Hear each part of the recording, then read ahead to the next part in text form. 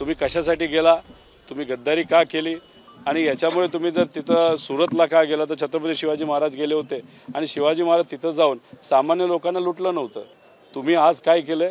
की ज्या लोकांनी तुम्हाला एका दृष्टिकोनातून निवडून दिलं बाळासाहेब ठाकरेंकडे बघून निवडून दिलं उद्धव ठाकरे साहेबांकडे बघून निवडून गेलं आणि त्यानंतर एकदा निवडून आल्यानंतर तुम्ही भूमिका बदलताय मग सामान्य लोकांनाच कदाचित विचाराने तुम्ही लुटलं असंच बोलावं लागेल ना?